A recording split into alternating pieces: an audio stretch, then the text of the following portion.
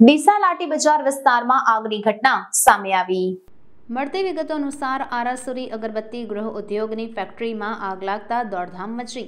Short સર્કિટના કારણે ભયંકર આગ લાગતા ફાયર ફાઇટરની ટીમ ઘટના સ્થળે પહોંચી હતી. ડીસા, પાલનપુર, ધાનેરા સહિત પાંચ ફાયર ફાઇટરની ટીમો કામે લાગી. છ કલાકથી આગને કાબૂમાં લેવાના પ્રયાસો શરૂ કરવામાં આવ્યા હતા. ઘટના સ્થળે લોકોના ટોળે ટોળા ઉમટી પડ્યા.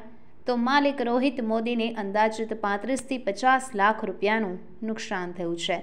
ઘટનાના પગલે ડીસા શહેર દક્ષિણ પોલીસ પણ ઘટના સ્થળે પહોંચી હતી.